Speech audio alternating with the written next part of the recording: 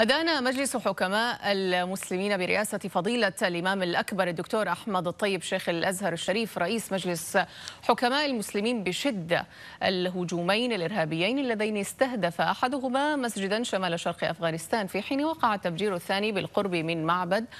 لطائفة السيخ في العاصمة الأفغانية كابول ما أسفر عن مقتل وإصابة عدد من المدنيين الأبرياء. وأكد المجلس رفضه القاطع لمثل هذه الأعمال الإرهابية التي تتنافى مع تعاليم الأديان والقوانين والأعراف الدولية التي تؤكد على حرية ممارسة الشعائر الدينية وعدم استهداف دور العبادة. وهو أيضا ما تؤكد عليه وثيقة الأخوة الإنسانية التي وقعها الإمام الطيب شيخ الأزهر وقداسة البابا فرانسيس بابا الكنيسة الكاثوليكية في العاصمة الإماراتية أبو ظبي.